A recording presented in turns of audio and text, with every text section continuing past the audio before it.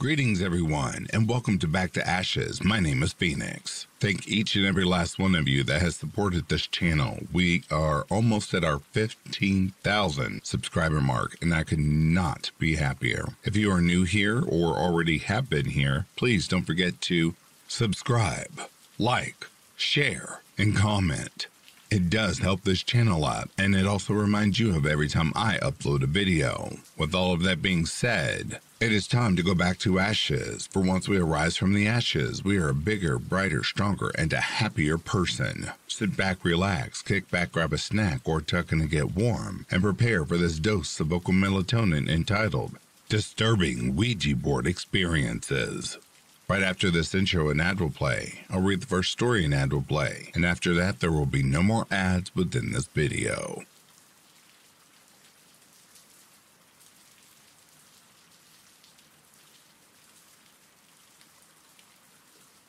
I was at a sleepover with my friend Anne. We were doing normal sleepover stuff, like playing games and watching Netflix. We soon got bored, and Anne remembered about something she found in her basement just recently. It was an old Ouija board and wooden, like in the movies. She decided to play with it, but I hesitated. I had a feeling this would not turn out well. But we started playing anyway. I convinced myself that it would be fun. We started out asking basic questions like who would I marry and how many countries would I visit? Soon, things got worse. I went to the kitchen to grab some soda and pretzels to eat. When I came back, Anne's face looked terrified. While I was gone, she had asked the Ouija board when she would die. It replied and said, "Tomorrow, 3:45 p.m." I was absolutely scared out of my mind. 3:45 was when school ended, when she was normally picked up by her parents. I prayed that night for her to be okay, but my prayers weren't enough. I got a call back from my mom later the next day saying that Anne was in a car accident with a semi truck and her parents were okay, but she did not survive. I will never forget that experience, and I warn you to never play with a Ouija board, or you will lose your best friend like I did. This is a very true story.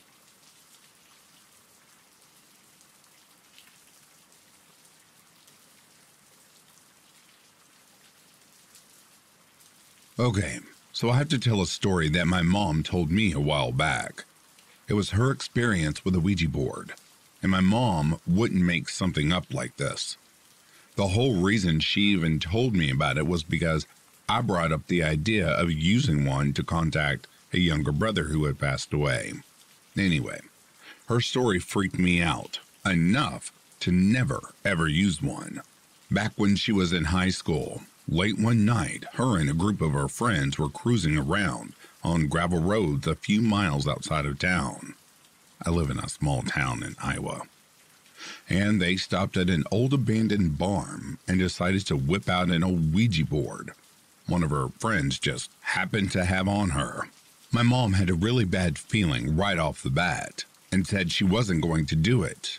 Well, everyone kept calling her a sissy and saying it won't work unless everyone who was there plays.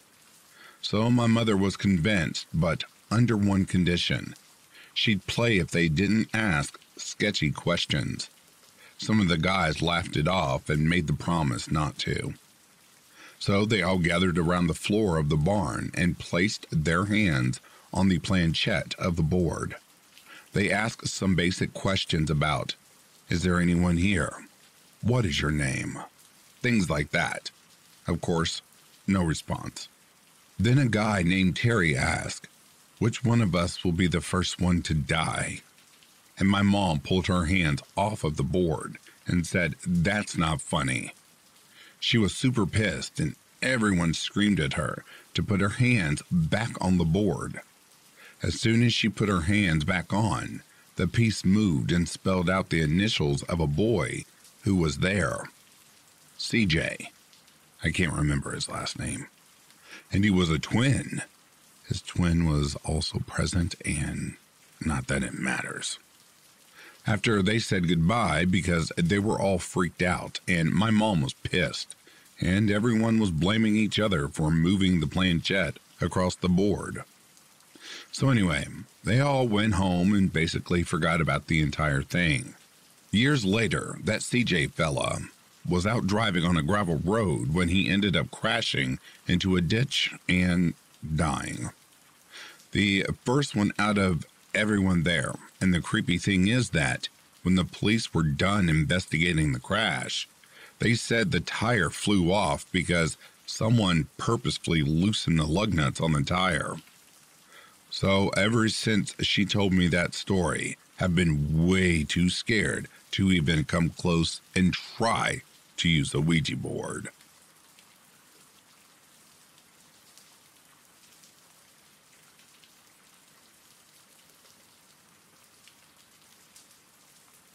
So, before I explain the story, I just want to set a few things straight.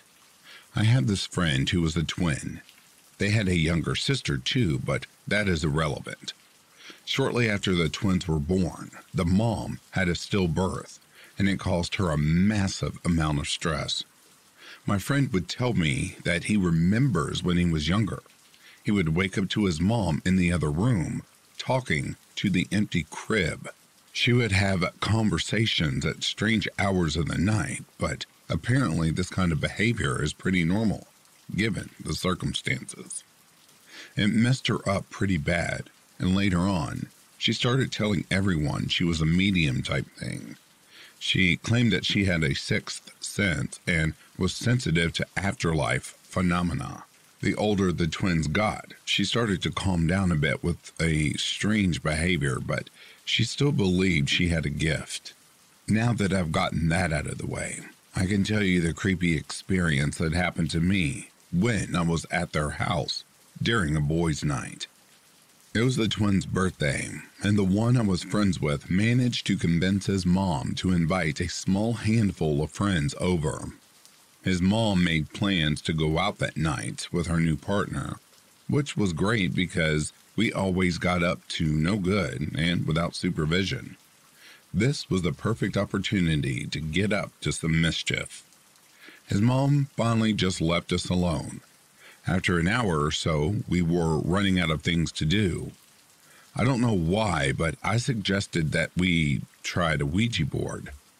I've seen them in the movies and I thought it would be hilarious if we tried it out ourselves. All the boys agreed, and I got to work setting up the table outside. I cut out letters along with a yes and no. I placed them in a circle on a plastic table and put one of his mom's shot glasses in the middle. I explained the rules to the guys and we were all extremely excited to basically give it a go. The other twin was tired though. He said he was going to have a shower and call it an early night. He also didn't like the idea of us doing this sort of thing, but we continued to do so anyways, despite his concern. We decided we would set up a tripod camera to overlook the table, just in case anything supernatural were to happen. We turned it on and started to record. At this point, we were all sitting around the table. We placed our fingers on the shot glass and started firing questions into a circle. We were asking stupid, immature questions like, Are you gay? or Can we speak to Elvis? etc. Nothing seemed to happen, but we were all laughing and carrying on. Then the glass started to move, but we could tell straight away it was someone on the table. You could tell by the way the glass was moving. It was obvious and annoying because I really wanted it to work. We started to get restless We were on the verge of giving up on the whole thing because people were being stupid and no one was giving it a fair chance. The next bet is where things got weird. The air became cold and the breeze died down. I remember that chilling feeling shivering outside in the cold. My eyes started to water and I felt hypersensitive. I'm pretty sure the other guys felt it too. That's when it happened. The glass started to move randomly. It felt completely different this time. it wasn't being pushed, if that makes sense. It was kind of dragging our fingers along the table. The movement was slow and eerie. At this point, we all look up at each other, darting from base to base, trying to figure out who was messing around this time. Every single face around the circle looked terrified and confused. The glass moved from letter to letter, not spelling words, but only gibberish. I hated the feeling, but I needed to know more. I started to ask questions this time. Who are you? Still, nothing. The glass was just moving around with no purpose. Then it would stop as if it disconnected. Then it would start up again. It would get weak, then fade back in with the movement. Are you a person? I asked. The glass moved to the center, then back down to no. This is the moment where I knew this was a bad idea. The glass started to pick up speed. It was moving around in circles, completely ignoring the letters. Its movements became fast and aggressive. It felt as if it was being pushed into the table really hard. Everyone was horrified. A few guys even took their fingers off of the shot glass in shock. The remainder of us decided to push Sean out of curiosity. Are you dead? Another person asked. The glass slowly slid over to yes. Then, all of a sudden, the lights and all of the power to the house turned off. We were all sitting in pitch black darkness outside with sudden silence. We shot up and broke away from the table.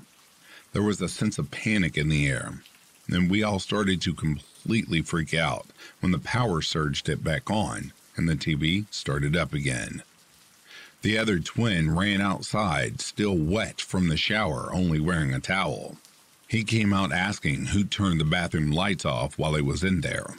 We explained the situation outside with the Ouija board, and he refused to believe it. Then I thought, yes.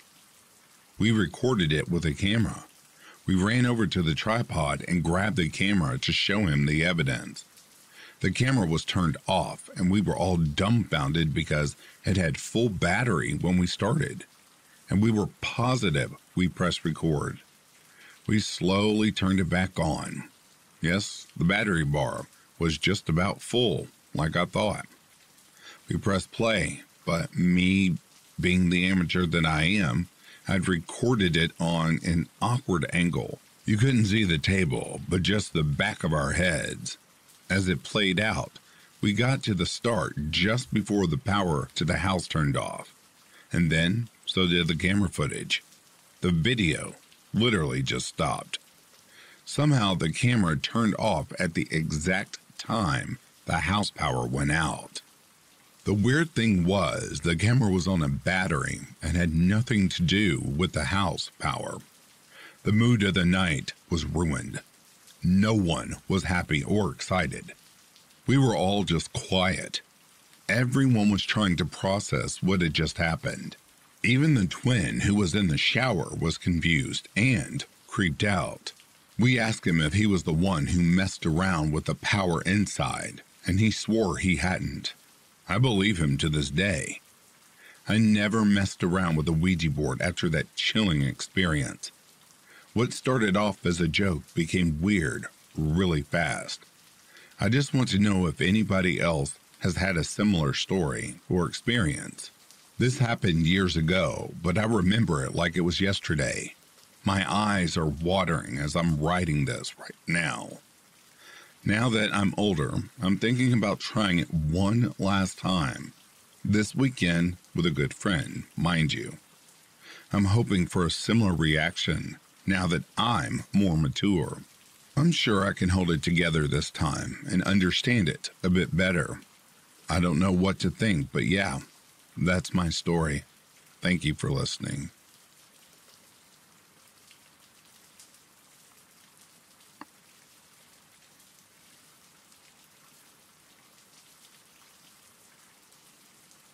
So, I've always been somewhat keen to the supernatural. I definitely opened up a door when I was 18 and used a Ouija board. We were all in the backyard of my friend's house. There were about five of us, and one of our friends had the glow in the dark board.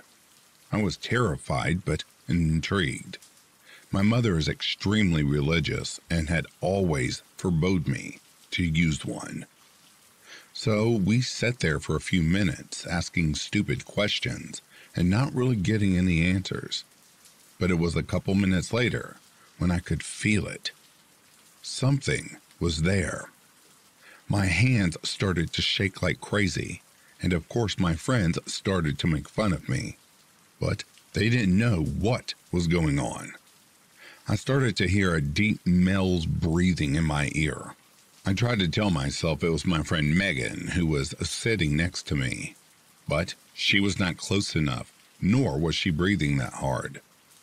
In my head, I just said, Go away, go away, go away. And it eventually did. I can't explain it to this day, but it was weird because as it was happening, I didn't tell anyone. I was just sitting there freaking out. As we were all heading back home, I begged my friend Megan to sleep over because I knew whatever had breathed into my ear was going to follow me back. I asked Megan if she had heard any noises herself, and she was like, What the hell? No. And basically thought I was making it up. For the next month, I kid you not, my house was haunted. I could not sleep without the lights on and music in my ears. I would hear footsteps every night outside my door, and periodically would wake up at 3 a.m. After a month passed, my mother sat me down. Ashley, what the hell is going on? I did not tell her at all about using the board because I knew she would be furious. Um, nothing, Mom. Nothing at all. Ashley, you tell me what's going on. For the last month, I've been hearing footsteps, and last night, something scratched my foot. I just looked at her dumbfounded because I thought this was only affecting me. I basically broke down crying and told her everything. Together, we saged the house and said prayers. And it's amazing how different the house felt. It felt lighter and pleasant again. Since then, I've been prominently more aware of ghosts. They usually come to me in my dreams, though. If you've ever wondered if Ouija boards work, they do. It might not seem like it's working, but you're literally opening a door, and they won't necessarily make themselves known on the board. Oh, yeah, I forgot. And it turns out some guy had killed himself at the house where we used the Ouija board.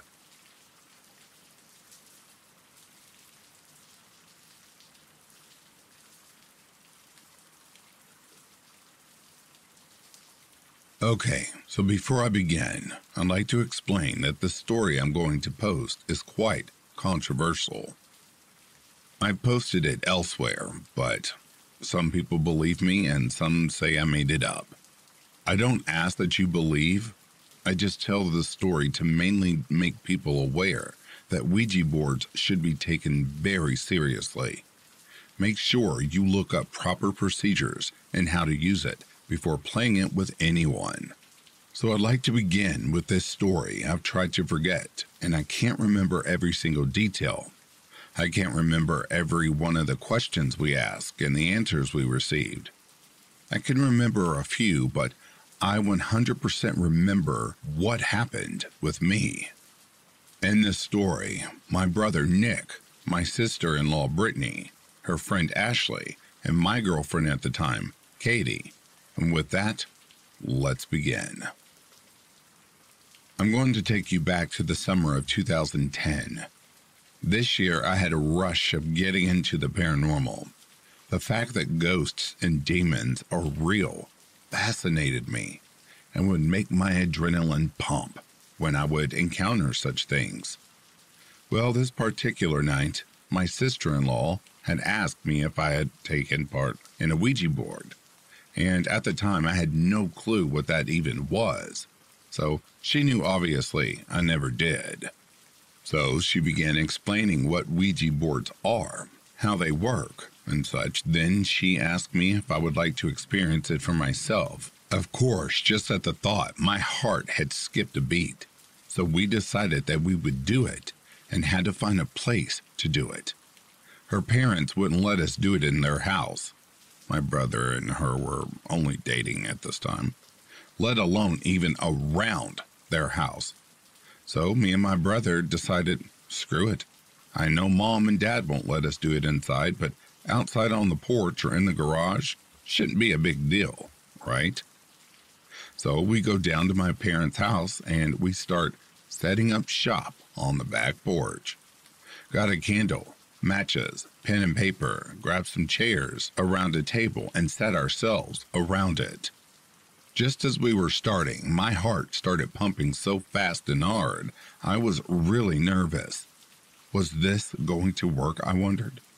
So we all put our hands over the Ouija, and Brittany had one hand over it so she could write with the other, and she started by asking if there are any friendly spirits around us that would like to communicate with us. The planchette moved to no, and I started freaking out. I'm only barely touching this fucking thing, and I mean my fingers are pretty much hovering over it, with a paper thin gap away from the planchette. Triangular shaped piece, usually, with a small glass circle in the center used to cast over letters and such to communicate with us. I asked if anybody was moving it and told them to stop fucking with me. I ain't got time for bullshit. And everyone was saying, no, we're not playing around with you. We want this to work just as bad as you are. And Brittany asked Nick to be serious. Are you playing around? And to stop it. If so, he said he wasn't. He wanted it to work too. So then Brittany's voice became firm, and she stated that only benevolent entities are welcomed here, and any violent entities were not welcome to speak with us, and that they could go ahead and leave, or we'll just end the session. So we waited a few minutes, all placed our hands over the planchette again, and Brittany states again are there any spirits here with us tonight that would like to communicate with all of us? The planchette slowly moved to yes. So, sure, maybe an entity was lying to us. Who knows, right? But we decided to keep going to try to communicate with the spirit. Brittany asks, Is there anybody particular here that you would like to speak with? The board then pretty swiftly moved to yes, and then back to the center. Now, usually you are the ones that would push the planchette back to the center, but this spirit just seemed to guide it the whole time we were communicating with it. Brittany begins to ask it who it would like to communicate with first. The board slowly spelt out Ashley's name. Now, Ashley began getting nervous, asking me why. Why does it want to start with me? She seemed to be getting nervous, and shit, I would too if I had specified wanting to communicate with me first. So Brittany tells Ashley to ask it something that the spirit might know, like an old relative or something. She wanted to test out if it were a demon lying, so they asked the question that only a relative would know, not something that could be an easy guesser. And Ashley asked what year the spirit had died, if it had even ever lived. I can't remember the year it spelled out, but I do remember her exclaiming that that was the year her mother had died, and she began getting frantic and sad, but she was still interested. So Brittany told her, to ask questions only her mother would know. I can't remember all of these, but Ashley asked personal questions only her mom would know. Not even any of us would have known these things. That's when things started to get creepy. So here's Ashley becoming very emotional, believing she is really speaking with her mother at one point. One of us would take our finger off and see if it would go with just three of us, then two of us, then Ashley herself. And the planchette would still slightly move around with just Ashley hovering two fingers above the piece. Whoever it was had a strong connection with her. I remember the spirit spelling out how thankful it was Ashley found my sister in law, that her mother never left her side, and was just happy she had a real friend in her life that truly cared for her daughter. All of this had happened, and I mean, we spent a good time over an hour, maybe even more than two hours, communicating for Ashley. And Ashley felt she had asked enough. We asked that her mother spirit stay with us and ask if there was any other family spirits around that would like to communicate with us, and if so, if it would watch over. Well, the board went to yes and no. We asked what it meant, and it slowly spelled out evil and good, and that the good fought evil away. We thanked her mother and the other spirits for protecting us and asked her mother if she would communicate for us with the others. The planchette went to yes. So we all began taking turns, my brother, then Katie, just asking random questions. My brother being stupid and asking how he could die, and I forget what the board said. I think it had said age, assuming it was saying old age, and he said that shit's lame and the girls all gave him shit because I guess you're not supposed to ask questions like that. There's some things you shouldn't ask because you shouldn't know. You should just let things play out. Well, it gets to my turn, and I couldn't really think of much. I knew I was thinking around, asking if I was going to die like my younger brother had asked, just to piss off the girls, but to be honest, when I was younger, I never thought I was going to make it past 18. I just felt like I was here for a good time, not a long time. Still kind of feel that way, but obviously I made it past 18. Well, actually, I barely did. Anyway, I asked if my grandfather was okay and if he made it to heaven. I got yes and a proud response. Then I asked it if I was going to be a successful football player. That year, I had just received offers to go play for the Miami Hurricanes and Ole Miss, and I wanted to know if I could go pro. The board said yes. I got excited, but hence I ask it if I could not. If I would then, I ask what offer I should take what would be the best, you know, for me? It said Miss. I got excited because that was the school that I was going to, but I also felt like maybe these were easy answers because it can read what I want, and that's how it's answering now. Who knows if we were still communicating with Ashley's mom? So I guessed it if I would make it to Ole Miss. The board said no. I got hurt that shit fucked me up. I ask it why. It slowly spelt out accident. I said, What accident? What accident am I going to be hurt in? It said, Yes. Now everybody was getting nervous, but I was getting pissed, and Brittany reminded me that I was asking questions that you should not ask. But now I was invested. To hell with it. I wanted to know. It slowly spelled out car and death. Well, at this point, Brittany had enough. I was asking questions I shouldn't be, so had my brother. She didn't like the feelings she was receiving anymore from the energy in the room, and she decided to begin ending the session. Well, that's just what she said. Well, now, we'll shortly just get to why I tell this story to warn people about Ouija's. A year and a half later, so 2011, in my junior year, I got a job at a pizza place delivering pizzas after football season to help my parents out by paying my own cell phone, gas, and such, just helping them out if they needed it. Well, one night, a night that I too, to this day, cannot remember. I only remember what I was told. I got into a really bad car accident while at work one night. Apparently, from what eyewitnesses had told police, what the doctors and police told me the next morning, when I finally gained consciousness at around 7 to 8 a.m. I was coming around a corner on US 1. It's an old highway down here in Florida. With a bit of traffic following me on the other end were two cars parked side by side in the median.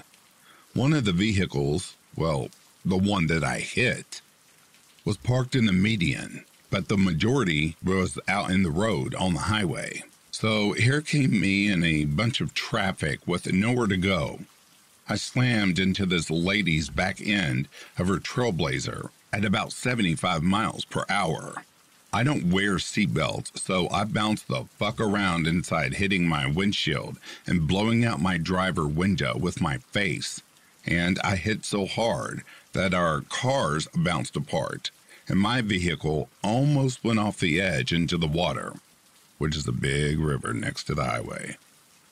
The front end of my vehicle was crushed all the way to my windshield.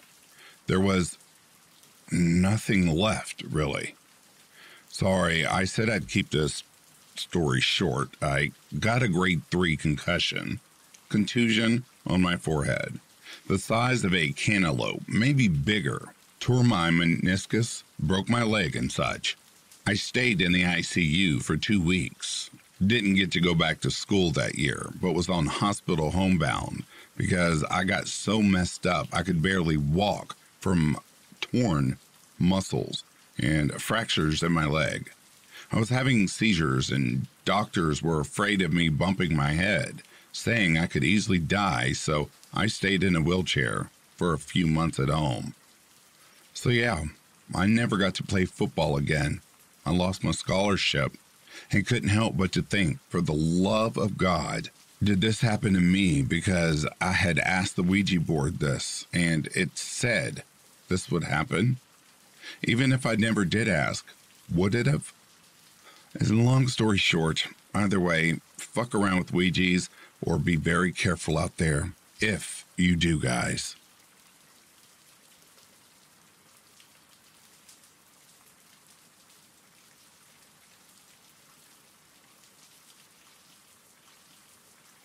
An experience with a Ouija board, which, despite being very skeptical, I can't fully explain away. Apologies for this long story, but here it goes. Years ago, myself my best friend, another friend, and three girls were at one of the girls' houses for Halloween. We were just going to spend the afternoon and evening chilling and watching horror movies. Anyway, during the afternoon, the girl whose house it was says she has a Ouija board and she would love to play with that. All three girls really excited to do it, best friend kind of superstitious, and very reluctant. Myself and another friend were kind of skeptical and indifferent to doing it, but deemed it pointless. Even more so when she brought it out and it was some shitty thing she'd made herself with a bit of old wood and a marker pen, and one of her dad's whiskey glasses as a planchette. But we were horny teens and the girls had boobs, so inevitably they got their way. Superstitious friend still wants no part. But the other five of us start playing. The grimly predictable happens, and it starts spelling things out like show boobs. Almost as if one of the guys were forcing the glass when we had our fingers on it. Me and the other guy found this hilarious. Girls just got annoyed. We weren't taking it seriously. So we all agreed to do it properly. After a bit of random twitching, it starts going. Five. No. Six. Yes. Repeatedly. We took this to mean it wanted the guy who wasn't joining in to join. Note here everyone said at the time and afterwards that they weren't forcing it now. The rational part of me assumes they were, but I'm not sure. After much persuasion, the third guy joins us. Again, there is a period of a few random letters or twitching, but nothing coherent. Then it starts, repeating a sequence of three numbers and letters over and over again. Suddenly, the guy that joined us last jumps back. Out of instinct, we all do the same. The glass falls over and is all steamed up with a cross scratched on the inside. Girls kind of freaked out. I guess the glass obviously steamed up because we just spent however long with six sweaty teenage hands on a cold upturned glass. It's called condensation and is far from supernatural. The cross was probably a pre existing flaw in the glass, dishwasher scratches, or something. That we didn't notice before, but became more apparent when the glass had steamed up. Note here, I'm still convinced I was right on this fact, and it is unrelated to any spookiness, but adding it in for completeness of the story. Anyway, Guy 3 is now very quiet, definitely not playing again, so we stick a movie on instead. Shortly after, he goes home, clearly not his usual self. The next day, he calls me and asks if I'll go somewhere with him. We get a train a few towns over, and he explains on the way. I knew prior to any of this, his dad had run out on him, and his mom when he was a baby. And he had no contact with that side of the family, knowing only who they were from photo albums. On the journey, he fills me in and all the gaps. His surname is obviously his dad's. His parents were married, now divorced. He never changed it to his mom's name.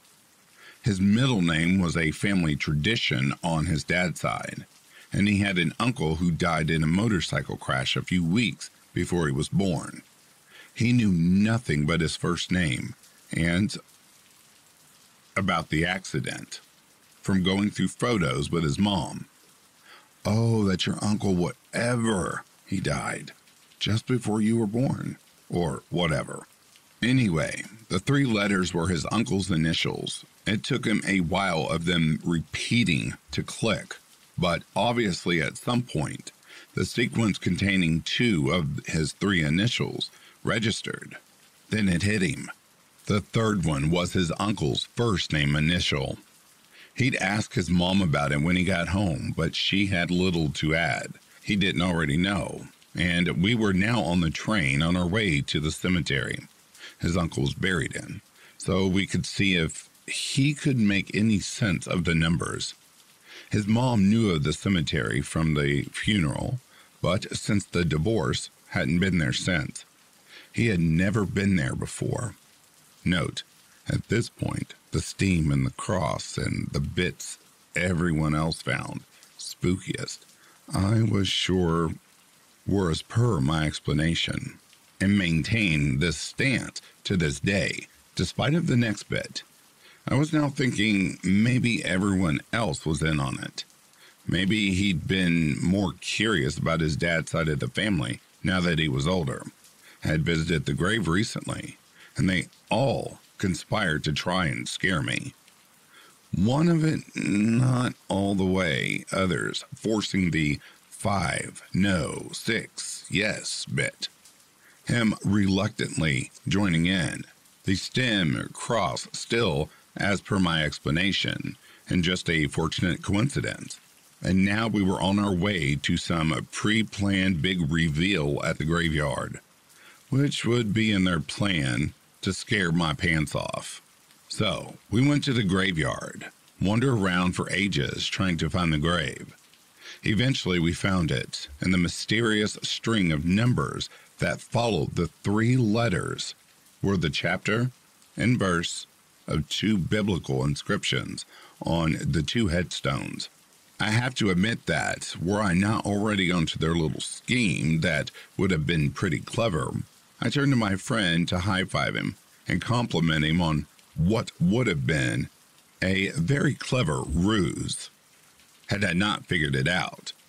To see him just sitting on the grass staring at the grave then started sobbing. Literally just sat there with tears streaming down his cheeks. Now, this guy can lie and he can prank, but my rationalization of everything anyone claims to be supernatural would make me the gold standard target for a spooky Halloween prank. But he can't act. He was obviously and genuinely fucking sad. I just went and sat by him. We sat there for ages, then just went home in pretty much silence. This was mid 90s. He's still my best friend. Randomly, over the years, I've pestered him to do another Ouija board with me, as I'm curious now, and he is the only one I've had anything vaguely resembling a result from. He always declines. He won't talk about what happened, not as in silent treatment, but just changes the subject. However, not long after that event, he did start to track down that side of his family, has reconciled with his father, and met with his brothers, etc.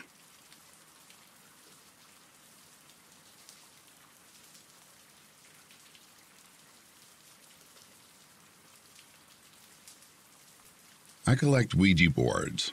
I know how strange this sounds.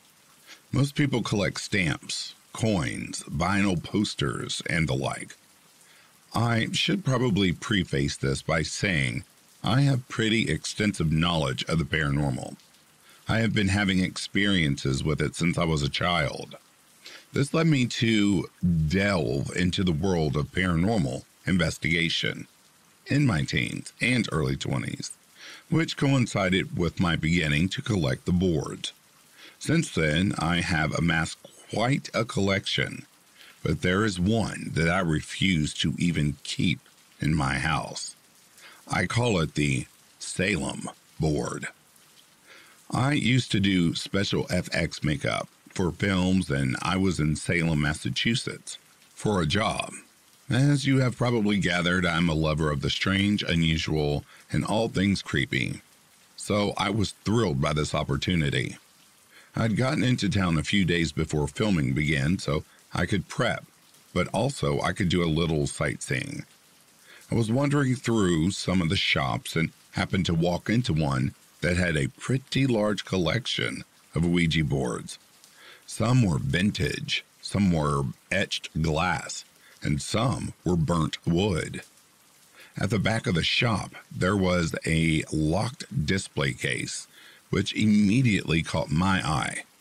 Alone at the top shelf was a board that looked as though it was the cross section of a tree stump. It had the usual markings of a Ouija board, but they looked to be hand carved into the wood. It was also covered in runes. I went to the guy behind the counter and asked how much it was. It's not for sale, he said quietly. Why not? I asked. He looked back at the cabinet and then back at me.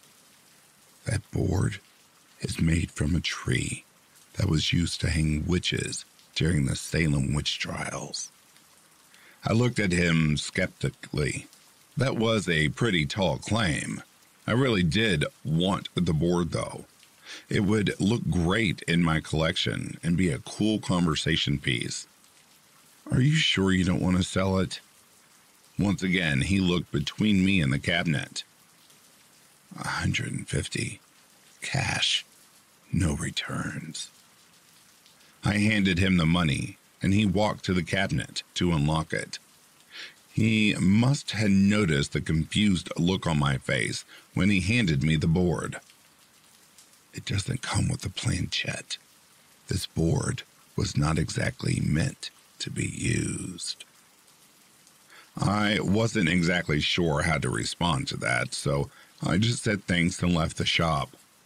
Fast forward a few months, I am back home in Seattle in my one bedroom apartment where I lived alone. I had put the Salem board in a box in my closet since I was waiting on a new display case and didn't really have anywhere else to put it. My closet had two sliding doors and a shelf on top of the bar where you could hang your clothes. The shelf was actually pretty large, so it accommodated the box with room to spare. I had gone to bed that night and fell asleep with the TV on. I was awoken around 3 a.m. by the sound of something hitting my closet door. I decided to make sure my ball python, Kronos, was in his cage, since every now and again he got out. He would try and get into my closet where the hot water heater is. I saw he was curled up under his log and cautiously opened the closet door to see the box had fallen off the shelf and was now resting against the door.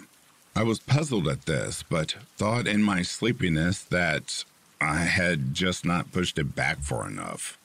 I pushed the box back and went back to sleep. About 30 minutes later, I heard another noise from my closet, but this time it was much louder. When I opened my eyes, I could see that one of my closet doors had been pushed outwards. The box had fallen off the shelf again, but this time had done it with so much force it had wedged between my clothes and the door. At this point, I was becoming a bit concerned. Instead of putting the box back on the shelf, I placed it on the floor of my closet and shut the door. When I woke up in the morning, I turned over to grab my phone off the nightstand and saw my closet door wide open. The box had been pushed out into the middle of the room.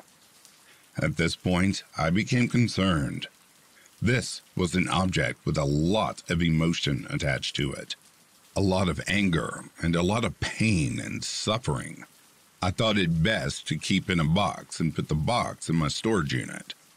A few years go by, and my mom keeps bugging me to clean out some things from the unit since she needed some space for her stuff. It was in the middle of summer, and the storage unit was sweltering. I was going through boxes, aimlessly tossing things into piles, when I came across the box. The room was suddenly freezing. I took the lid off and looked down. The Salem board was sitting on top of several other Ouija boards I had acquired over the years. They had all been cracked in half right down the middle. All of them. Except, of course, for the Salem board. I stared into the box, trying to comprehend what I was looking at. These boards looked like someone had broken them over their knee. Surely not the result of a box being dropped or jostled. I removed the board from the box and placed it in a wooden chest I had acquired from my great grandmother, who had considered herself to be a witch. It remains in that box to this day, I believe there are forces in this world that we never understand. I am sure you are wondering why I didn't get rid of the board. In a way, I feel tied to it. It called to me and I answered. I consider myself its keeper. As long as it is with me, everyone else is safe from whoever or whatever is attached to it.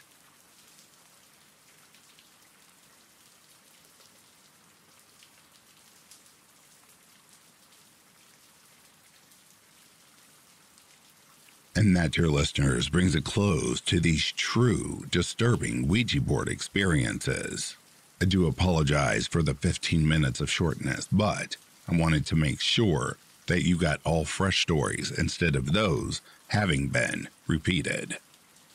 And don't worry, I have something very special ahead for the weekend. I'd like to take a moment and give a special thank you to the reform members of Back to Ashes. Tammy Slayton, Mrs. Enterscare, Tina Mead, Colt Stone Wolf, Luz Crispin, CAG, Denise S., Samantha Place, Stephanie McLaren, Corpse Lover, Normie DW, Christy Elias, Cindy Cleveland, and Patty's niece. Thank each of you for your continued support of Back to Ashes. I really do appreciate you more than I can put into words. If you are sleeping, I hope Slumber Lane is treating you comfortably. If you're awake, I hope you've enjoyed this collection. Until next time, please take care of yourselves. I'll be reading to you soon. Have yourself a good morning, a good afternoon, or a good evening. Peace, love, and light to you all.